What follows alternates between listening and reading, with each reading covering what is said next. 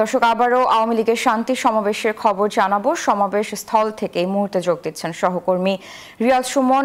রিয়াজ সমাবেশে নেতারা কি বলছেন আমাদের জানাবেন।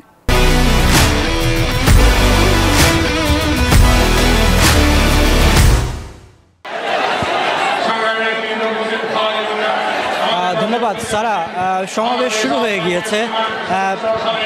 বেলা বাড়ার সাথে সাথে কিন্তু সমাবেশের উপস্থিতিও উপস্থিতিও বেড়েছে। আমরা দেখতে পাচ্ছি যে এখানে জিপিও, এই পাশে জিপিও জিপিওর মোড় এবং এই পাশে দোয়েল চত্বর মহানগর নাট্যমঞ্চ থেকে পুরো এলাকায় কিন্তু কানায় কানায় পরিপূর্ণ হয়ে গিয়েছে নেতাকর্মীদের উপস্থিতিতে।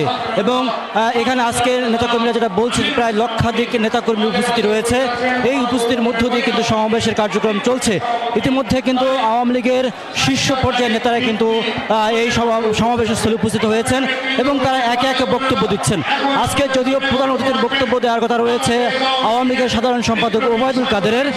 তার পাশাপাশি আরও বক্তব্য রাখবেন আওয়ামী লীগের প্রেসিডিয়াম সদস্য জাহাঙ্গীর কবির নানক, প্রেসিডিয়াম সদস্য আব্দুর রহমান, যুগ্ম সাধারণ সম্পাদক মাহবুল আলম হানিফ, যুগ্ম সাধারণ সম্পাদক বাহাউদ্দিন নাসিম এবং প্রেসিডিয়াম সদস্য মতিয়া চৌধুরী মোস্তফা জালাল মহিউদ্দিন সহ এখানে আওয়ামী লীগের সিনিয়র নেতারা উপস্থিত আছেন যুবলীগের চেয়ারম্যান এবং আওয়ামী যুবলীগ আওয়ামী লীগের সাংগঠনিক সম্পাদক সহ সিনিয়র অনেক নেতারা এবং তারা আজকের এই সমাবেশের মধ্য দিয়ে আসলে বিএনপি জামাতের সন্ত্রাস এবং নৈরাজ্যের প্রতিবাদে তারা এখানে প্রতিবাদ জানাচ্ছেন এবং তারা বলছেন যে আগামী নির্বাচনে শান্তি নির্বাচন বানচাল করার জন্য বিএনপি জামাত সহ সরকার বিরোধী যারাই অপশক্তি, অপতৎপরতা চালাবে সেগুলো শক্ত হাতে মোকাবেলা করবে এবং রাজপথে ভোটের আগের দিন পর্যন্ত তারা তৎপর থাকবেন।